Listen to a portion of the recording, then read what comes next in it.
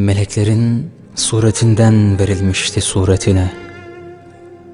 Yokluğunda Adem'in hep sol yanı feryadu figan etti. İnim inim inledi. İnsanın cennette canı sıkılır mı? Sıkıldı Adem'in.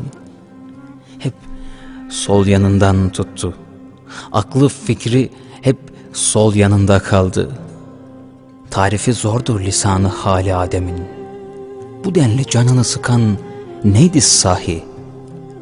Kendisi bile anlam veremiyordu bu haline. Ama bilen biliyordu Adem'in halini. Ve rüyalarına girmeye başladı Adem'in.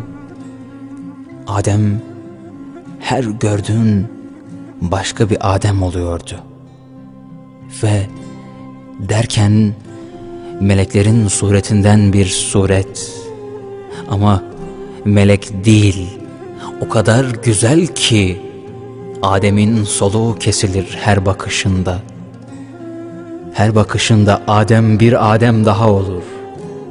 Sol yanındaki bilinmedik acı onu her görüşünde kendiliğinden kaybolur.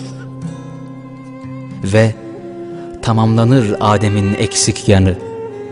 Bir kadındır Adem'i Adem yapan, yokluğunda hep eksik bırakan, varlığıyla tamamlayan bir kadındır. Kim mi kadın? Havva'dır Havva. Meleklerin suretinden bir parça taşır suretinde. İlk kadındır, ilk aşktır, ilk yürek sızısıdır. İlk annedir Havva, Adem'i Adem yapan Havva'dır, Havva.